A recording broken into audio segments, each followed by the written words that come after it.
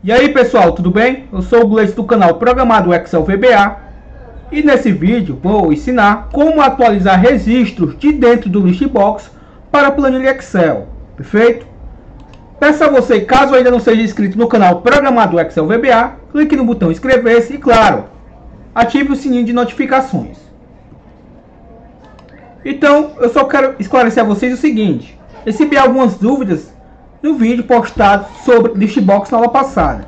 Então no final do vídeo eu vou estar repercutindo alguns comentários, perfeito? Então aguarde aí e acompanhe o vídeo até o final. Então vamos lá aqui para o nosso formulário. Eu vou aqui na aba, pesqui na, na aba pesquisar e vai me trazer aqui os dados do Listbox, perfeito? Ao clicar em algum item, a gente já aprendeu a editar os dados e agora a gente vai aprender a atualizar o registro que tiver editável, perfeito? Então, nesse momento, observe que ele não atualiza. Algo que eu percebi foi o seguinte, não sei se aconteceu aí com o arquivo, não sei se vocês estão fazendo o próprio arquivo vocês, eu vou estar disponibilizando esse arquivo mediante ao seu e-mail aí no campo comentários. Então, eu vou fechar aqui e observe o que vai acontecer aqui com o arquivo. Se nesse momento eu clicar no editar e eu não tiver clicar nenhuma linha do listbox, vamos ver o que acontece. Observe que dá um erro. Não foi possível obter a propriedade list índice de matriz de propriedade inválido. Ou seja, ele não conseguiu obter o valor da lista, certo? Ou seja, o índice, o número da matriz foi passado de forma inválida. Vou clicar aqui em depurar. Em outras palavras, observe o seguinte, ó. Ao colocar o cursor aqui, ó, ele me diz o erro.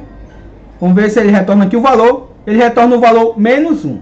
Ou seja, o meu valor de list, o meu valor do list index parte do valor zero. O que for menor que isso, vai ocorrer esse erro, perfeito? Então, para evitar primeiramente esse erro, antes da gente entrar realmente na aula de atualizar, vamos parar aqui o código e vamos fazer uma correção aqui no nosso código, perfeito? Então, desenvolvedor, Visual Basic. Caso o projeto não apareça assim, caso você esteja aí praticando juntamente comigo, vamos fechar aqui, vou clicar em exibir Project Explorer. Duplo clique no nosso ZForm 1, duplo clique no nosso botão. Perfeito? Então é o seguinte, aqui após o meu comando it, que quer dizer com, com quem o meu mi.lst precisa, que é o nosso listbox, eu vou aproveitar, já que eu estou trabalhando com as propriedades do listbox, e vou fazer o comando if, ou seja, vou fazer uma verificação no meu list index. Vocês viram que ele me apresentou o valor menos 1, ou seja, quando dá esse valor menos 1, ocorre um erro. Então, sabendo disso, eu vou verificar se a minha lista é menos 1. Se for, eu vou ignorar o erro, perfeito? Então, em outras palavras, como é que a gente vai fazer aqui? if.list index, se for igual a menos 1, então, nosso tem quer dizer então, então o que? Existe sub. E é de if. Eu poderia aqui colocar um msg box, mas não é o que eu vou fazer. Eu vou parar o meu código aqui e não, nada mais vai acontecer, perfeito? Deixa eu só apagar esse espaçamento aqui a mais. Ou seja, se essa condição aqui ó, for verdadeira, ou seja, se o meu list index for igual a menos 1, então exit sub, ou seja, vai parar o código aqui e não vai ocorrer o erro que vai ocorrer se ele for processar essas linhas aqui abaixo. Ó. Caso essa condição seja falsa, ele não executa isso e ele vem para cá. Ó. Perfeito? Vamos lá? Executar aqui para que vocês vejam. Vou clicar no editar e observe que não ocorre mais o erro. Ó. Porém, se eu clicar em alguma linha e clicar no editar, ele processa perfeitamente. Ó. Tranquilo aí, ó. Viram? Então vamos agora voltar realmente para o foco da aula, que é o botão atualizar. Eu peço para você que esteja gostando dessa série, que eu estou tentando ser o mais objetivo possível, que deixe o seu gostei, para que eu entenda que você está gostando desse tipo de vídeo. Então vamos lá, partir aqui para o botão atualizar. Vou dar um duplo clique sobre ele. Observe que eu não renomeei o meu botão. Como é um projeto bem simples, não vou renomeá-lo aqui. Perfeito? Mas a boa prática é que você dê um nome ao seu botão. Então só mostrar aqui para vocês que eu vou estar atualizando a minha planilha 3. Mas percebo que a ordem da planilha 3 é a seguinte. A planilha 1 é a minha planilha com index 1 a planilha 3 é o meu index 2, ou seja, a minha planilha 3, nesse momento, ela ocupa a segunda posição, ou seja, quando eu usar lá no meu código, plan 2 nada mais é do que a minha planilha 3 aqui, ó. Pois eu tenho 1, 2, 3, 4, 5. Ou seja, na minha contagem aqui, a minha planilha 1 é a primeira, a planilha 3, embora o nome esteja como planilha 3, ela é a segunda que dá contagem. Perfeito? Já vocês vão entender melhor. Voltando aqui para o nosso código, vou criar duas variáveis, uma variável chamada linha, e ela vai ser do tipo integer. Vou criar uma variável chamada id, e ela vai ser do tipo string.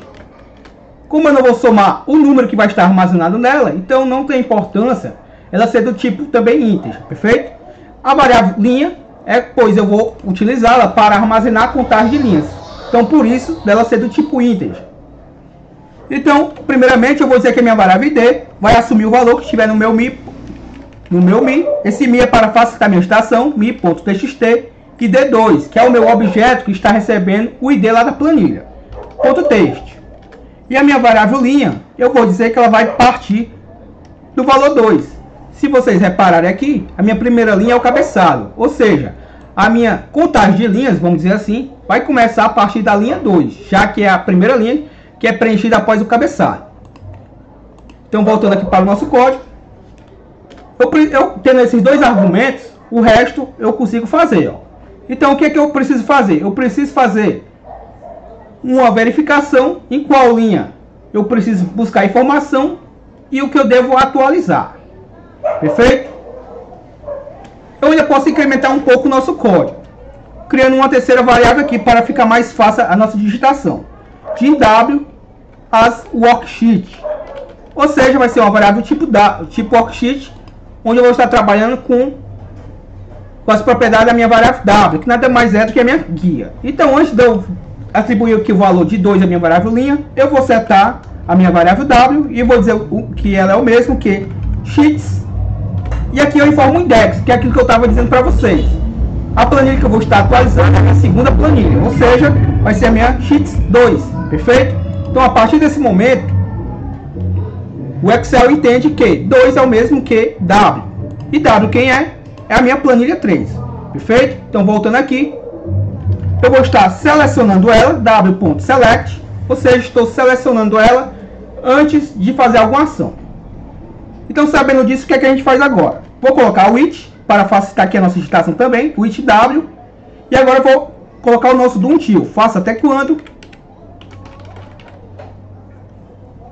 o meu ponto cells, ou seja, ao colocar o it com, eu estou trabalhando com as propriedades da minha guia. Ponto cells é uma propriedade. O cells é uma propriedade da minha guia, ou seja, da minha planilha. Então, a partir desse momento, eu observo que o VBA já entende que eu estou trabalhando com as propriedades do objeto planilha. E aí eu informo para ele aonde eu quero fazer essa busca. Eu quero buscar a partir da minha variável linha, que ela inicializa do valor 2, vírgula, da coluna 1. Perfeito? E vou colocar igual. Aspas duplas, aspas duplas. Ou seja, aqui é uma condição. Enquanto essa condição não for atendida, ou seja, enquanto eu não satisfazer essa condição, ele vai procurando até satisfazer essa condição, perfeito? Em meio a isso, enquanto ele não achar uma célula vazia, o que, é que ele vai fazer? Ele vai fazer uma verificação.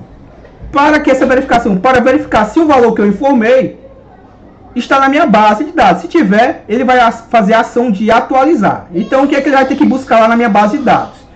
Esse 1 aqui nada mais é do que a coluna 1, perfeito? Que a minha coluna onde está meu ID. Mas aqui poderia também ser a coluna B ou poderia ser a coluna C. Não teria influência aqui nesse momento. Porque, porque eu, desculpa, porque nesse caso aqui eu estou querendo verificar se a célula que está procurando está vazia ou não. Como todas aquelas colunas estão preenchidas, independente de eu informar a coluna 1, 2 ou 3, não influenciaria aqui no código. Perfeito? mas agora sim vai influenciar o que eu vou informar. If ponto cells variável linha vírgula 2, ou seja, perdão, aqui no caso, se na minha cells linha da minha coluna 2, perdão, na minha coluna 1 for igual ao o valor que estiver no meu ID, então, então ele vai fazer o que? Em outras palavras, ele vai buscar na minha cells, da minha linha, que é essa mesma linha que ele está procurando aqui nesse momento, da coluna 1. A variável ID. Lembre-se que a ID está armazenando o valor lá do meu ID quando eu clico no meu list box, perfeito? Então gente está procurando nessa coluna aqui o valor da minha, o valor que está acumulado no meu list box. Se eles coincidir, ele vai executar a ação que eu vou colocar aqui abaixo. Qual vai ser a ação? Vai ser a seguinte: ponto cells linha vírgula 1, ou seja, na mesma coluna, ponto select, ou seja, ele vai fazer uma seleção. E para que essa seleção? Ou seja, eu estou selecionando. Ele vai selecionar para que na minha ponto cells, na mesma linha que ele achou esse valor, agora eu informo a coluna que eu vou estar querendo atualizar. Eu vou informar a coluna 1, vai estar recebendo o que tiver após o sinal de igualdade, que vai ser o meu mi.txt e d2.text. Ou seja, o, o valor que estiver no meu txt e d vai estar sendo repassado para a minha variável. Perdão, para a minha variável linha. Perfeito? Na realidade vai estar sendo repassado para a linha que estiver selecionada da coluna 1. Entendido isso, basta copiar esse comando, Ctrl C, Ctrl V e Ctrl V mais uma vez. E obviamente vou alterar aqui para 2 e aqui para 3. Pois, como vocês bem sabem, eu tenho apenas três colunas. Ó. Então, o que estiver armazenado no meu txt vai estar sendo atualizado nessa coluna. O que estiver no meu CMB setor vai ser nessa. E o CMB descrição nessa. Perfeito? Então, entendido isso, vou colocar aqui meu mi.cmb setor 2. E aqui vai ser o meu mi.cmb, descrição 2. E aí,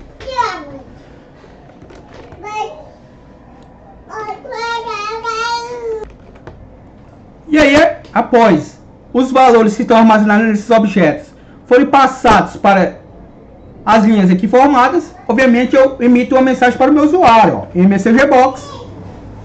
Por exemplo, vou botar aqui o texto alterado com sucesso. Vamos botar aqui, por exemplo, registro alterado com sucesso. Fechar aspas duplas, vírgula VB information, vírgula, e aqui fica o título do nosso programa. Bom, aqui você bota o nome que você bem entender. Entendido isso, coloco o comando active work book.save, ou seja, aqui eu estou salvando a minha, o meu livro, ou seja, o meu arquivo. Aqui eu chamo uma rotina para limpar os meus campos. Vou botar aqui, sem ainda ter criado, limpar underline campos. Vamos criar essa rotina rapidamente aqui. Vou colocar o meu exit sub para que ele não precise mais procurar em nem mais uma linha, pois ele já achou a condição que o satisfez. Coloco meu end if para fechar nossa estrutura if. Lembrando que esse if aqui está fechando esse if aqui. Esse exit sub está garantindo que o meu código não vai ser mais executado, pois essa condição aqui já satisfez. Pois se eu não colocar isso, ele vai continuar procurando para ver se tem algum outro ID correspondente ao ID informado lá no objeto. Então, para que ele não faça uma procura desnecessária, eu coloco esse exit sub. Perfeito? E aí eu coloco a minha variável linha igual a ela própria para ser auto-incrementada para que ele, ele passe de linha por linha. Se eu não fizer isso, ele vai procurar só na primeira linha. Coloco meu loop para fechar o nosso do until. E obviamente, vamos fazer o seguinte. Vou colocar o meu comando end with para fechar nossa estrutura with. Perfeito? Então esse end with está fechando esse with aqui. Vamos fazer um teste. Vou salvar aqui. Ah, como eu não tenho essa rotina limpar campos, observe aqui. Vai se chamar limpar campos. Então vamos fazer criar aqui rapidamente. Sub limpar campos. E ela vai fazer o que? Meu mi.cmb descrição 2.text igual vazio. Meu mi.cmb setor 2.text igual vazio. E o meu mi.cmb, perdão, txt e d2.text. Vou colocar o valor de zero, perfeito? Só para garantir. Então observe agora sim ela já existe, tanto é que se eu colocar um L minúsculo aqui, ó, ao sair do campo ele fica maiúsculo, o VBA entende que ela já existe. Vou salvar novamente e vamos fazer o nosso teste. Então vou aqui pesquisar, vou editar um registro, por exemplo, o registro 5. Observe que aqui é supervisão, vou mudar aqui para, por exemplo, manutenção. Vou mudar aqui também o tipo de ferramenta, botar como máscara e vamos ver se vai funcionar. Registro alterado com sucesso. Vou dar um OK. Limpou os campos. Observe aqui que, como ele não carregou ainda o meu listbox, aparentemente nada mudou. Mas se você observar aqui na minha base de dados, ó, mudou a atualização. Ó. Aqui eu estou vendo supervisão, kit alicates. Lá na minha base já está manutenção, máscaras respiratórias. Se eu fechar o formulário e executar aqui de novo, você vai ver que ele já vai trazer a atualização. Ó. Porém, o ideal é que conforme eu já atualize, ele já me carregue atualizado. Então, como é que eu faria isso? Muito simples. Duplo clique no meu Zform. Observe que ele tem uma rotina chamada cal carrega dados listbox. Então, eu copio ela. Vou dar o Ctrl C. Vou localizar aqui Project Explorer, o Zform 1. Duplo clique no meu atualizar. Ou seja, após ele atualizar aqui, ó, vou chamar aquela rotina. Ó. Então, eu vou colar aqui. Após ele atualizar, salvar o meu arquivo, vai limpar os campos e depois vai chamar o carrega dados listbox. Em outras palavras, vamos fazer um teste. Vou, por exemplo, pegar aqui costura, vou editar, perdão, vou clicar aqui no editar.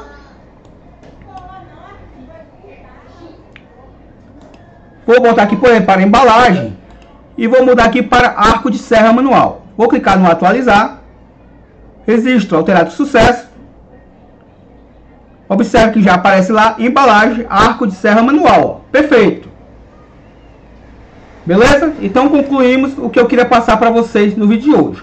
Peço novamente que você deixe o seu gostei e vamos aqui para alguns questionamentos que foi deixado aí no, em alguns dos vídeos da aula passada, perfeito? Então, primeiramente aqui, um dos argumentos é do João Frederico, onde ele diz, professor, o que significa o botão de command com caption? Ele se refere a um outro vídeo da aula 5 que eu ensinei sobre botões editando dados dentro do ListView, perfeito? Então aqui, João Frederico, o CAPT nada mais é do que o nome que aparece para o usuário, perfeito? Eu tenho a propriedade name, que é a propriedade que eu utilizo via código, onde eu estou trabalhando diretamente com código. Quando eu estou utilizando um botão, eu utilizo, eu manipulo pela sua propriedade name. Já o capture é só aquela informação que fica sobre o botão que aparece para o meu usuário, perfeito? Então, o Omar Carnevale, ele diz, Olá, Gleitz, muito bom trabalho. E ele pede o arquivo que a gente fez na aula passada eu vou estar disponibilizando para ele. Então, o Adilson Oliveira, ele disse, meu nível em VBA é igual a zero. Ele faz referência a um vídeo que eu perguntei sobre o nível de vocês. E é muito importante que você que esteja assistindo esse vídeo, me diga o seu nível de VBA, para que a gente possa estar focando em vídeos realmente em cima da dificuldade do nosso público, perfeito? Pois muitas vezes a gente faz vídeos até certo ponto iniciais, pois eu não sei se realmente o meu público é iniciante, intermediário, médio, avançado. Então é muito importante que você diga o seu nível de VBA para que a gente faça vídeos especificamente em cima do público do canal. Ainda o Ormar Carnevale. Aqui é o mesmo e-mail. Então vamos pular aqui para o Mirum Gameplay. Parabéns pelos vídeos. Eu comecei a fazer a minha própria planilha, mas não estou dando conta. Tá uma bagunça. Ainda ele comentou, logo abaixo, olá amigo, boa noite, teria como ver a minha planilha? Bom, você pode estar me enviando aí no e-mail, Excel tá tudo errado. Porém, eu não vou me comprometer a estar olhando de forma rápida. Você pode estar enviando o arquivo, receber inúmeros arquivos, mas dentro do possível eu posso dar uma olhada. Eu criei a minha planilha de cadastro de clientes, produtos, entradas, vendas e pagamentos. Já tentei fazer funcionar, mas não consigo.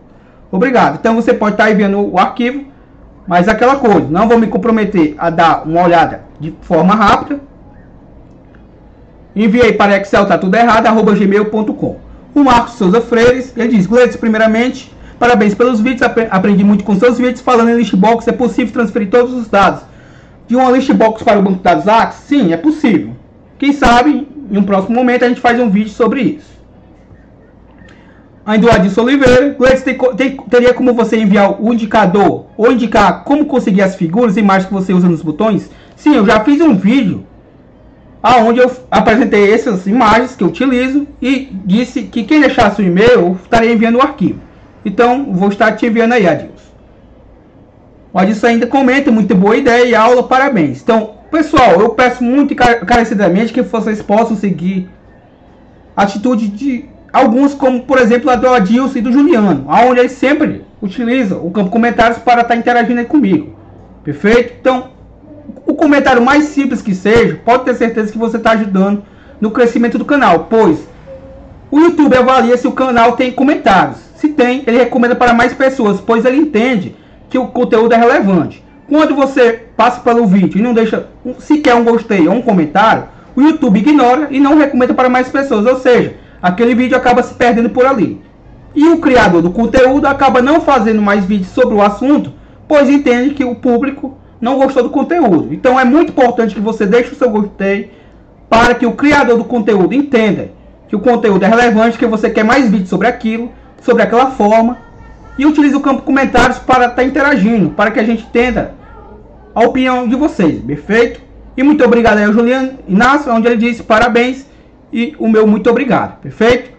Então foi isso, até a próxima. Deixa aí o seu gostei, o seu e-mail se você quiser esse arquivo e se você também quiser o arquivo que eu utilizo para as imagens, também deixa o seu e-mail aí, perfeito? Só especifica o que você está querendo no e-mail. Valeu, até a próxima.